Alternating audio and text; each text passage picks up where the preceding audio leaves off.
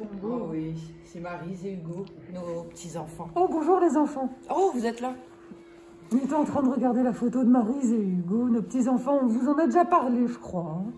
Ouais, et alors c'est bientôt l'anniversaire d'Hugo, mais vrai. je suis un peu perdue, euh, je me souviens plus quel âge il va avoir. Alors, Marise, c'est sûr, euh, elle a 6 ans. D'accord, elle a 6 ans. Ouais. Et je crois qu'elle a... Attends, non.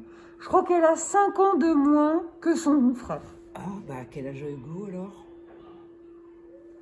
Oh, tu sais, moi, pour euh, ça, je suis pas très très fort. Je crois que les enfants, ils sont plus forts que moi. Donc on rappelle, Marise a 6 ans. Elle a 5 ans de moins que son frère Hugo. Quel âge a Hugo? Alors pour les CE20, on va faire un petit peu plus difficile. Perfoura, j'ai 74 ans. Oui. C'est D'accord? Et j'ai... Tu le fais pas d'ailleurs, hein, C'est gentil. J'ai 6 ans de moins que toi, Perfora. Alors quel âge a Perfora, les enfants? Hum, Attention à ceux qui disent n'importe quoi. hein.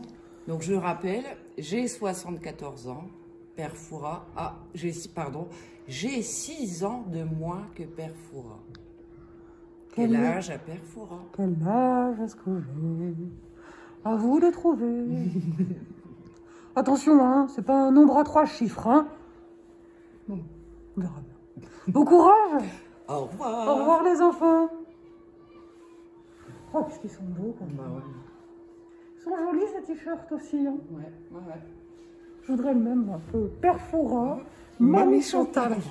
Ce serait chouette. hein. Ça serait bien. On va leur demander où est-ce qu'ils les ont achetés. À bientôt, au Au revoir. revoir.